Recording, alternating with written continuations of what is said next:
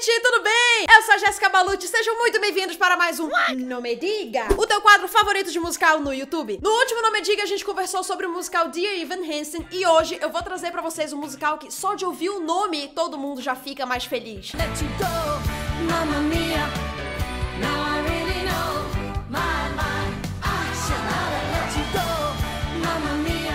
like having fun already. How Can I Resist You? O filme queridinho de 2008 da Mary Streep e da Amanda Seyfried. Pra quem não tá sabendo, essa semana sai a continuação de Mamma Mia, o Mamma Mia Here We Go Again. My, my, how can I... Chega. E por causa disso, hoje a gente vai focar mais no longa-metragem do que no musical dos palcos. Mas vocês já sabem que depois de relembrar a história, a gente sempre conta umas curiosidades, então vai ter informação de tudo aqui. Fica aí, fica aí. Se você ainda não tá inscrito no canal, já se inscreve aqui embaixo pra receber muito mais conteúdo sobre musicais e Disney e vários outros assuntos. Vai deixando um gostei nesse vídeo e me segue lá no Instagram e no Twitter pra ficar por dentro de todas as novidades. E vamos relembrar a história de Mamma Mia? Vem comigo! Mamma Mia foi um filme lançado há 10 anos e ele conta a história da Sophie, uma jovem de 20 anos que vai casar e tem um sonho de ser levada ao altar pelo seu pai. Porém, ela não sabe quem é seu pai. Aí ela resolve convidar três ex-namorados da sua mãe pra descobrir qual deles é seu pai. E a característica principal desse musical é que as músicas são do ABBA. Pra quem não sabe, Mamma Mia é um jukebox musical. Jéssica, o que que é um jukebox musical? Um jukebox musical é um musical feito com músicas que já existem, geralmente músicas pop. Ou seja, o musical não tem uma trilha original. E essa é uma característica muito marcante de Mamma Mia e também o motivo que fez todo mundo se apaixonar por ele. E a ideia desse musical surgiu da produtora Judy Kramer, que lá nos anos 80 pensou em fazer um musical com canções do ABBA. E vocês acreditam que o ABBA não botou muita pilha? Só 15 anos depois, a Judy tirou dinheiro do bolso dela pra pagar Katherine Johnson pra escrever o libreto. Libreto, pra quem não sabe, é tipo como se fosse o roteiro do musical. E só em 1998 ela conseguiu uma diretora que também topou em seguir com o projeto. Como eu não preciso nem falar do sucesso de Mamma Mia, vocês já entenderam que a moral aqui é não desistir dos sonhos de vocês, né? Nunca. E sem mais delongas, vamos ao que interessa. Vamos começar apresentando os personagens do musical. A gente tem a Sophie Sheridan, que é a personagem principal, a jovem que vai casar e quer descobrir quem é seu pai. Ela é interpretada pela Amanda Seyfried. A gente tem também a Donna Sheridan, que é mãe da Sophie e também dona da pousada na ilha de Carey na Grécia. Ela é interpretada pela Meryl Streep. A gente tem também os três possíveis pais da Sophie. O primeiro é o Sam Carmichael, que é um arquiteto irlandês interpretado pelo Pierce Brosnan.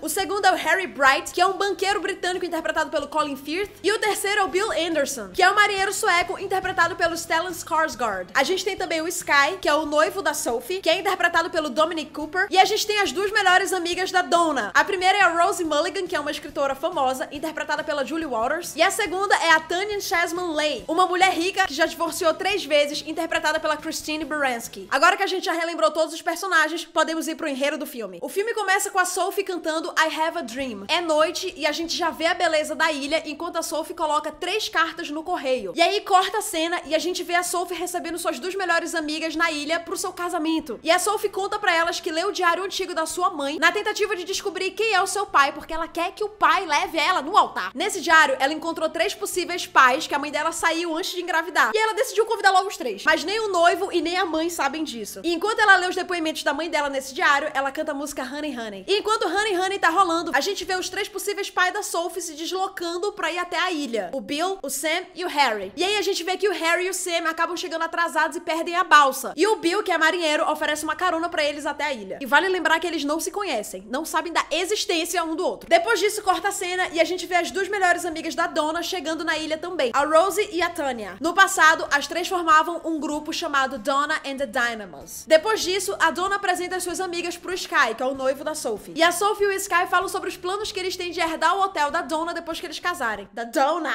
Vocês gostaram disso? Donna! Quando a dona vai pro quarto com as suas amigas e desabafa sobre como as coisas são difíceis no hotel porque ela nunca tem dinheiro sobrando, apesar de trabalhar muito. E ela fala sobre isso na música Money Money. Money, money, must be funny. World. I work all night, I work all day to pay the bills I have to pay.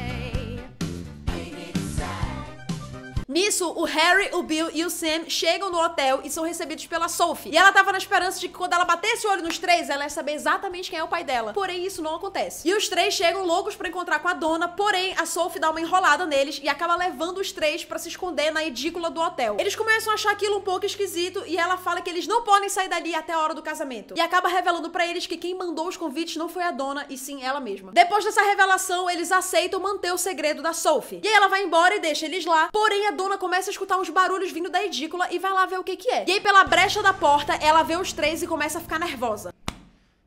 Meu Deus, são os homens, são os homens, Thaísa. E aí é nessa hora que ela canta a icônica Mamma Mia, demonstrando que ela ainda nutre sentimento pelos três. Mamma Mia, o quê? Here I go again. My, my, how E aí ela entra na edícula e manda os três embora e eles vão dormir no barco do Bill. E aí depois disso a dona vai desesperada falar com as suas melhores amigas e pedir ajuda. E aí nessa hora a Rose e a Tânia cantam a música Chiquitita pra ela falar o que aconteceu. Chiquitita. Depois que ela conta, ela desabafa sobre como foi difícil quando ela engravidou da Sophie e a sua própria mãe a renegou. E isso tudo depois que ela se relacionou com esses três caras. E aí as amigas tentam melhorar o humor dela cantando a icônica, a melhor parte do filme, Dancing Queen. You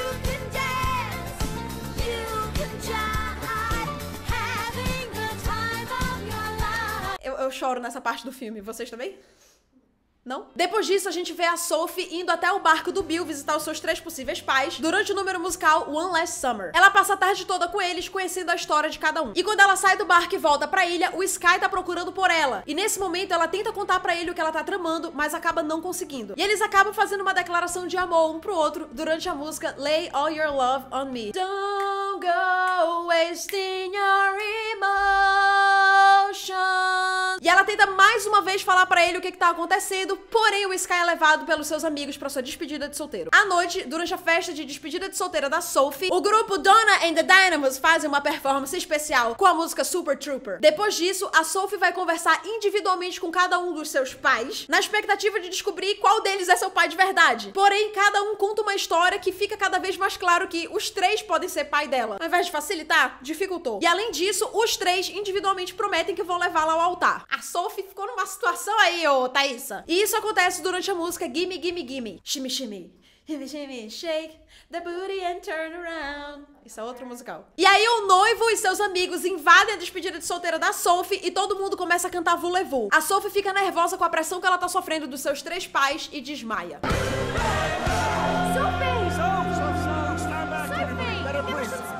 Na manhã seguinte, que já é a manhã do casamento, a Rose e a Tânia prometem pra dona que elas vão distrair os homens. A dona vai questionar a Sophie se ela tá certa mesmo de que quer casar, achando que o desmaio foi por causa disso. E a Sophie briga com a própria mãe, falando: Mãe, você não quer que eu case. Depois disso, o Sam encontra com a dona e durante a música SOS, eles percebem que ainda se gostam. Enquanto isso, a Rose vai se engraçar com o Bill lá no barco e a Tânia, que deveria estar cuidando do Harry, se distrai com o Crush, que é o barman do hotel. E ela e o staff do hotel cantam a música Does Your Mother Know? Por causa da distração da Tânia, o Harry consegue chegar até a dona e entrega pra ela um cheque pra ajudar nas despesas do casamento. Enquanto isso, a Sophie finalmente consegue contar pro Sky o plano dela e ele fica muito chateado por ela não ter falado antes e por ela estar se desgastando tanto com uma informação que não faz diferença pro futuro deles. Bem egoísta o Sky, né? Eu achei. Não foi egoísta da parte dele? De achar que não faz diferença pro futuro deles, mesmo. É, uma, é importante pra ela.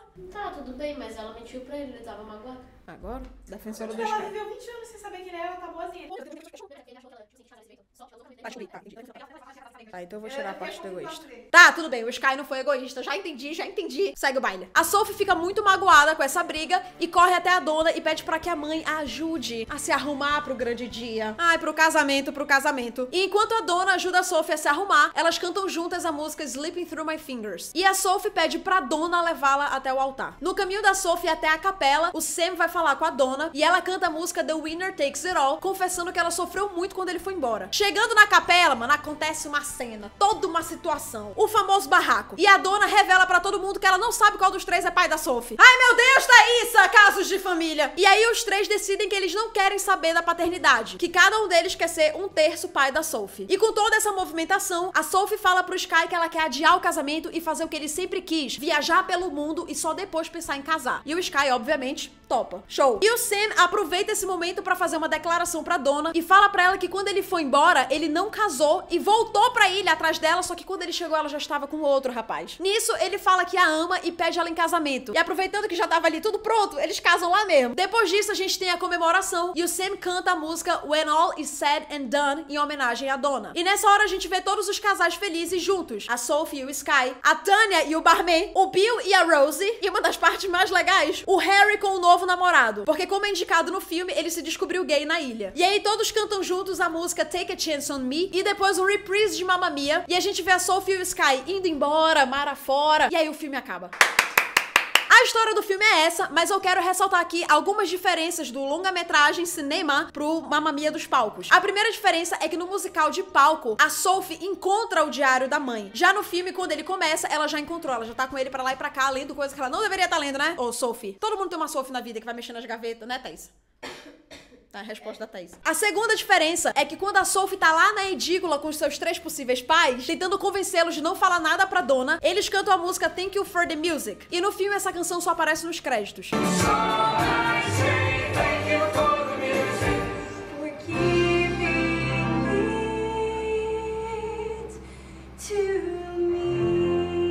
algumas músicas não foram adaptadas pro cinema, como por exemplo Under Attack, que é quando a Sophie acorda nervosa no dia do seu casamento. Tem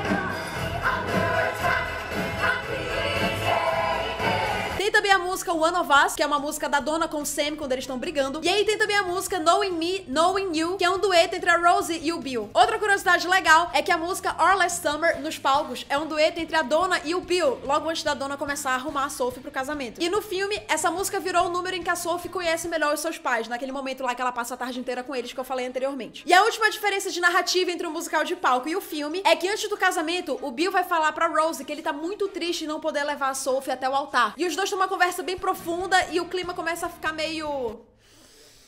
Começa a ficar meio intenso. É a melhor maneira que eu, que eu sei de falar isso. E agora a gente pode partir para as curiosidades. Começando primeiro com as premiações. Todo mundo adora falar de prêmio. Mamma Mia foi indicado ao Globo de Ouro na categoria de melhor filme musical ou comédia. E também na categoria de melhor atriz pra quem, né? Meryl Streep, obviamente. E esse musical também foi indicado em três categorias no BAFTA, que é tipo Oscar britânico. E eu preciso falar de um aspecto bem específico de Mamma Mia. Ele não surgiu na Broadway. Geralmente é a Broadway que exporta musicais para outros locais, mas dessa vez foi o West End que criou o musical. West End é como é conhecida a Broadway britânica. Mamma Mia estreou em abril de 1999 em Londres. Depois disso foi para Toronto e São Francisco em 2000 e só entrou na Broadway em 2001, onde permaneceu até 2015, tornando-se um dos 10 musicais de maior permanência na Broadway. E vale lembrar que em West End, Mamma Mia tá em cartaz até hoje. E falando em tempo, o primeiro filme foi lançado em 2008 e o segundo tá sendo lançado agora em 2018. E sabe o que é mais legal? A diretora e a escritora da peça são as mesmas do filme. E elas revelaram em uma entrevista que o verdadeiro pai da Sophie é o tambores. Bill. E sinceramente, eu acho que deveria ter deixado no ata isso. O que que tu acha? Também. O que, que vocês acham? Coloca aí nos comentários. E vocês estão pensando que só a gente idolatra Meryl Streep? Quando eu digo a gente, eu tô falando dos seres humanos. O Pierce Brosnan, que interpreta o Sam, não fazia nem ideia do que, que o filme falava, sobre o que se tratava. Bastou falar pra ele, é com a Meryl Streep, ele disse, tô dentro. Ele falou que qualquer trabalho que pudesse fazer com ela era uma oportunidade. Certo tá ele, né? Será que a Meryl Streep faz collab? Pra canal de musical. E por falar nela, quando a Meryl Streep foi gravar a música The Winner Takes It All, ela gravou tudo em um take. Sabe o que é um take? Ela cantou uma vez, não precisou voltar pra nada. Ela cantou e ficou perfeito. E por causa disso, o Benny Anderson, do grupo ABBA, falou que ela era um milagre. O mundo inteiro sabe disso, meu anjo. E ainda sobre a diva master Meryl Streep, Mamma Mia foi o filme que mais vendeu de toda a carreira dela. Pensando na quantidade de filme que ela já fez, qual é a conclusão que a gente chega? Quase ninguém assistiu Mamma Mia, né? Pra vocês terem noção, em 2008, Mamma Mia se tornou o filme com a maior bilheteria no Reino Unido. E só foi substituído em 2009 pelo Avatar. E ele roubou o título de Hairspray de maior bilheteria musical no final de semana de lançamento. Resumindo, Estouro, né? E falando em blockbuster, é lógico que vão ter cenas cortadas. A música The Name in the Game foi cortada do filme e a Lay All Your Love on Me foi reduzida na versão final do filme. Provavelmente fizeram isso pra não ficar muito longo. E vocês acreditam que a Amanda Bynes, Rachel McAdams e Mandy Moore foram cogitadas pro papel da Sophie? Mas parece que a escolha foi certa não só pelo excelente trabalho da Amanda Seyfried, mas também porque ela e o Dominic Cooper, o ator que interpretou o Sky, namoraram por aproximadamente dois anos e o romance se iniciou nas gravações do filme.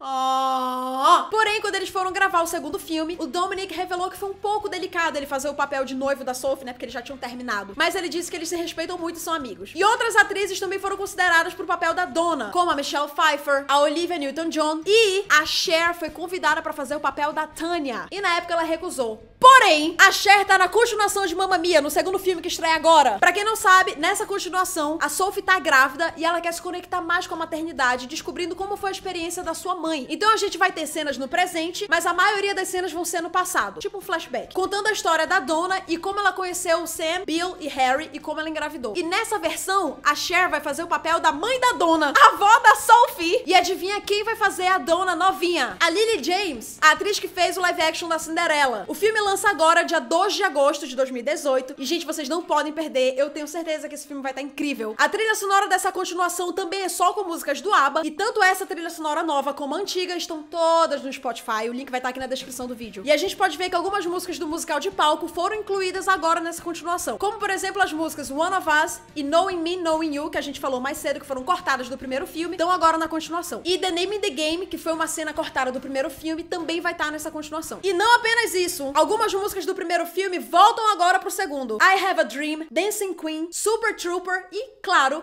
Mamma Mia. Todas elas com uma nova versão para esse segundo filme. Já foi anunciado que em algumas músicas eles fizeram algumas alterações na letra para encaixar melhor com a história do filme. E inclusive, dois membros da banda ABBA fazem aparição nesse segundo filme. Para quem quiser assistir o filme de Mamma Mia para chegar afiado no cinema, ele tá disponível no Netflix e na Amazon Prime. E é isso, gente. Eu espero que vocês tenham gostado de relembrar Mamma Mia, de descobrir várias curiosidades. Se vocês querem mais vídeo de Nome Diga, já se inscreve aqui no canal, deixa um gostei. A playlist com todos os outros Nome Diga vai estar aqui na descrição do vídeo também. E aproveita e deixa aqui nos comentários qual outro musical vocês gostariam de ver nesse quadro incrível. Quero agradecer a minha roteirista Bea Góes por mais um trabalho incrível. Bia, muito obrigada. Me segue lá no Instagram e no Twitter pra ficar por dentro de todas as novidades, porque tem muita coisa legal vindo por aí. Eu espero que vocês tenham gostado do vídeo. Um beijo até o próximo e tchau! A gente tem também a Dona Sheridan, que é mãe da Sophie e também dona da pousada na ilha de Kelly. Kelly o quê? Sabe por que eu choro nessa parte? Porque são todas as mulheres da ilha juntas cantando Dancing Queen. É muito emocionante. Skarsgård. Esse povo também. Custava ser João Silva o nome dele.